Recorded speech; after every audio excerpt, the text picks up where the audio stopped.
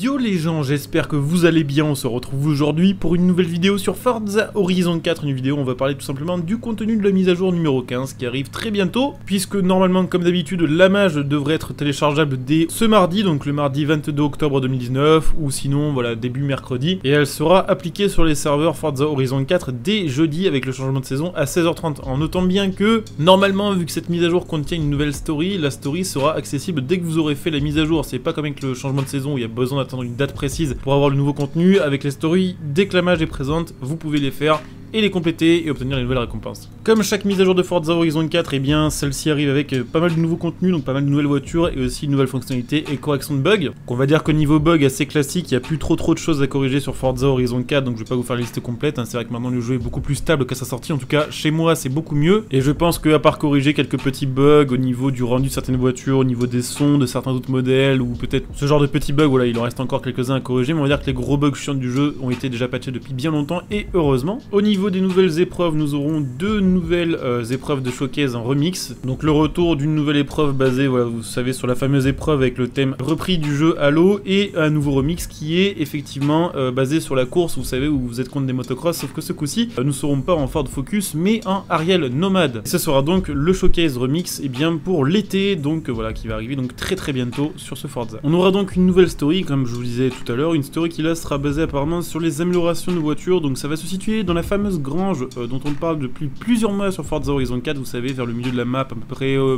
on va dire au milieu nord-ouest, euh, il y a un endroit avec une grange où il y avait des drapeaux Forza Horizon, et on était quasiment tous sûrs qu'il y aurait une story ici un jour. effectivement, donc voilà, on aura une story basée euh, sur les améliorations de voiture qui s'appellera donc le Upgrade Hero, donc en gros le héros, ou je sais pas comment dire, le pro de l'amélioration, ou alors on aura de nouvelles épreuves à compléter avec à chaque fois bah, plusieurs étoiles selon votre score et selon votre chrono, ou bah on va dire le, le déroulement type d'une épreuve, ce sera donc aller chercher une voiture euh, qui est pas forcément une voiture très très performante, la ramener au garage, là au garage ils vont faire une préparation de la voiture et une amélioration, et ensuite la relivrer, donc avec à chaque fois un petit chrono à respecter. Alors je suppose qu'il y aura une récompense à la fin de cette story, je ne crois pas qu'il l'ait dévoilé pour l'instant, donc peut-être une nouvelle voiture, honnêtement je pense pas, je pense que ce sera déjà une voiture qu'on a déjà présente sur le jeu, qui sera donc bah, effectivement en récompense si vous arrivez à avoir toutes les étoiles sur cette story. Après ne vous attendez pas à quelque chose de particulièrement folichon non plus avec cette story, parce que bah, en fait les améliorations et les personnalisations qui vont être réalisées sur ces voitures pendant la story, ce sont en fait bah, des améliorations et personnalisations qui sont présentes déjà sur le jeu de base. Pas question d'avoir de nouveaux kits carrosserie pour le moment, ni d'amélioration vraiment spécial. Voilà, ce sera les trucs basiques du jeu qui seront posés sur des voitures un peu lentes de base pour en faire des monstres. Donc pas folichon, mais bon, voilà, ça fait une petite nouvelle story. Ça fera plaisir aux gens qui galèrent à débloquer là 812 Superfast parce qu'ils n'avaient pas assez de story complétée avant. Sinon, on aura euh, bah, une amélioration, et ça par contre c'est très très cool, l'amélioration du moteur de recherche de voitures en salle des ventes. Vous savez l'endroit pour acheter des voitures d'occasion. Euh, avant, il fallait voilà accéder au menu salle des ventes, paramétrer un outil de recherche, donc euh, mettant soit la marque, soit le modèle, enfin vous voyez ce genre d'informations à propos du modèle que vous recherchez Ensuite, ça lançait la recherche. Et si vous faisiez B, donc pour revenir après le résultat de la recherche, euh, pour revenir au menu précédent, bah, ça supprimait en fait simplement euh, tous les paramètres que vous avez mis dans l'outil de recherche de salle des ventes. Donc c'était genre archi chiant, puisque si vous voulez euh, spammer, on va dire, la recherche pour obtenir une voiture rare, bah, à chaque fois il fallait tout se retaper le menu intermédiaire où il fallait remettre toutes les informations dans le formulaire.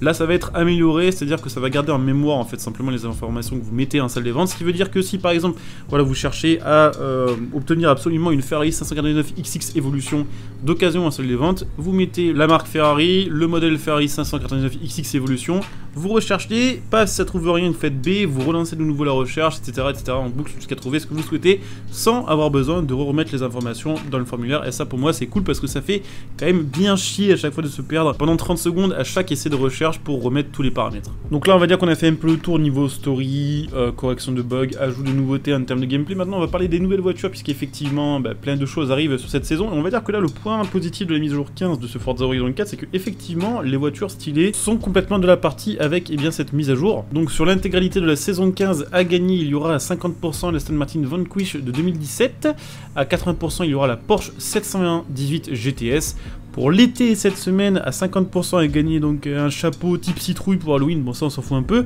À 80%, il y aura la Porsche 356 SL qui était plutôt une bonne voiture pour le coup et plutôt assez stylée et assez rétro en plus de ça. La grosse nouveauté donc pour l'été, c'est la Rotion Q1 qui est reprise de Forza Motorsport 3, il me semble. Et je crois qu'elle était aussi sur Motorsport 4, mais j'en suis pas sûr à 100%. La Rotion Q1, voilà, voiture de 2008 équipée d'un moteur V6 biturbo d'origine Ford. Elle développe 450 chevaux pour environ 1100 kg. Elle est assez légère, elle fait le 0 à 100 en 3 secondes 1 et elle tape 305 km/h en vitesse de pointe. En sachant que cette voiture est une voiture développée par une marque américaine, hein, euh, c'est vraiment américaine, mais la voiture est basée sur la noble M400, donc ceux qui ont joué à TDU reconnaîtront peut-être cette voiture qui se cache sous la Rossillon, qui est plutôt, euh, bah, pour le coup, une marque complètement britannique. Il y aura aussi à gagner cette semaine-là, donc en récompense de championnat saisonnier, eh bien la Nissan R390, la Chevrolet Nova édition Forza donc de 1969 et le retour donc de la 01 qui revient déjà effectivement en récompense de saison, ce qui est euh, assez bizarre, mais bon pourquoi pas. La semaine d'après donc bah ça y est l'arrivée de la Bugatti Divo, ça a déjà été confirmé il y a longtemps, on le savait, mais voilà, elle arrive enfin, récompense de saison, donc voilà, il faut atteindre 50% pour pouvoir la débloquer. À 80%, vous aurez donc le costume de squelette, hein, toujours pour Halloween. La Rimac C2 sera gagnée en test, la Onigan RS200 en championnat euh, donc d'Arine PVP. Vous aurez aussi à débloquer à côté de ça si vous le souhaitez, gratuitement en récompense de championnat saisonnier, la Ferrari F50 GT qui est très très très rapide, et la Vauxhall Corsa 2009 ainsi qu'une Ford Falcon. La semaine d'après, en récompense de saison, vous aurez à 50% la TVR Tuscan, à 80% la CSX, qui est pas une nouveauté sur le jeu, elle est là depuis assez longtemps maintenant, mais c'était, euh, je crois, une voiture de mise à jour aussi. Vous pourrez gagner la Peugeot 205 édition Forza, donc en récompense de test. Vous aurez la possibilité de choper aussi la Mini John Cooper Works Buggy en récompense d'Arène PVP. Vous pourrez débloquer aussi la WRX de 2004 de chez Subaru qui est rare. Celle-ci, c'est la rare, je crois que c'est la 2005 qui est commune. J'inverse peut-être, mais il me semble que vraiment celle de 2004 est assez rare. Le retour de la Volkswagen Notchback aussi en récompense de championnat saisonnier, qui est elle aussi une nouvelle voiture. Enfin, elle est pas nouvelle de cette mise à jour là, mais je veux dire, elle est récente, je pense que ça date d'il y a moins de 4 mois. Et puis par contre, grosse nouveauté, euh, la BMW M3 GTS E92 qui revient cette saison, qui euh, devrait vous rappeler un petit peu le jeu Need for Speed The si vous l'avez fait à l'époque. Modèle de 2009 en édition limitée, je crois qu'il y a eu moins de 300 exemplaires qui ont été produits sur cette voiture. Euh, on a toujours le moteur V8 mais poussé à 450 chevaux, aileron et couleur spéciale et puis cure d'amaigrissement aussi hein, pour la, M3 GTS puisque elle fait environ 50 à 70 kg de moins que la M3 normale, elle fait 1530 kg, 0 à 104 secondes 4 et vitesse de pointe de 305 km/h. Et donc pour terminer, dernière semaine de la mise à jour numéro 15, on aura la Koenigsegg CCGT à choper sur Forza Horizon 4 à 50% de récompense saisonnière, 80% ce sera la Porsche 917 LH, la CCGT donc de chez Koenigsegg, je reviens dessus quand même rapidement, euh, devrait être une très très bonne voiture, donc c'est vraiment une caisse de course, hein, c'est vraiment en gros une CCX avec un gros aileron, on a un V8, 5 litres qui développe seulement entre guillemets 600 chevaux parce qu'elle est bridée pour bah, tout simplement appartenir au championnat GT1 mais vous pourrez la débrider très certainement comme la plupart des voitures de course du jeu qui sont débridables et je pense que la puissance du coup passera aux alentours des, 815 chevaux quelque chose comme ça. Selon si effectivement sans la bride elle est plus puissante ou pas qu'une CCX normale une CCX normale fait 806 chevaux. Donc euh, je me dis voilà peut-être qu'elle sera un tout petit peu plus puissante. Et puis de toute façon elle est euh, hyper légère 1100 kg donc dites-vous bien qu'une Koenigsegg de 1100 kg, ça risque quand même d'être assez violent sur le jeu, en sachant qu'en plus la plupart du temps les Koenigsegg sont swapables avec le moteur de la Guerra RS, donc possibilité vraiment d'avoir de très très gros résultats, euh, d'avoir une voiture qui fait 1360 chevaux en gros, pour 1100 kg, avec peut-être des réductions de poids, peut-être des, choses à changer et à régler au niveau de l'aérodynamisme et tout. Enfin, je pense que ça va devenir une vraiment bonne voiture, et je me demande si en fait ça va pas être elle la voiture cheatée de mise à jour, parce que tout le monde pense que la Divo va devenir vraiment peut-être une des nouvelles meilleures voitures du jeu, mais en vrai je pense que la CCGT quand on regarde un peu le palmarès de Koenigsegg sur le jeu actuellement, et qui est quand même de très très bonnes voitures, il y a quand même complètement moyen que ça devienne une voiture assez cheatée. Donc voilà, vous aurez aussi donc pour terminer cette semaine euh, de mise à jour quand même d'autres petites voitures qui sont déjà passées sur le jeu, vous pourrez redébloquer. Donc il y aura par exemple la Porsche 906 de 1966, il y aura la Ford Mustang euh, Spec 5 ainsi que la BMW M5 de 88 en licence Forza, la Chevelle 267 qui est quand même relativement rare et la Mini Countryman dernière génération aussi à débloquer sur le jeu. Euh, donc il y aura une partie qui sera en récompense d'Arine PvP et une récompense aussi, enfin une partie en récompense de championnat saisonnier. Donc pas vraiment de grosses grosses nouvelles fonctionnalités à part l'amélioration du système de salle des ventes. Par contre, quand même une bonne mage niveau voiture. La Divo, voilà, qui était très attendue sur le jeu. La CCGT, euh, qui n'était pas forcément spécialement attendue, mais une Koenigsegg, ça fait toujours plaisir. Pareil pour la M3 GTS de 92, qui va faire plaisir. Et puis la Rossillon Q1, euh, que personnellement, je ne connaissais pas. Hein, voilà, je vais pas faire genre, je connais toutes les voitures du monde, mais je connaissais pas la Rossillon.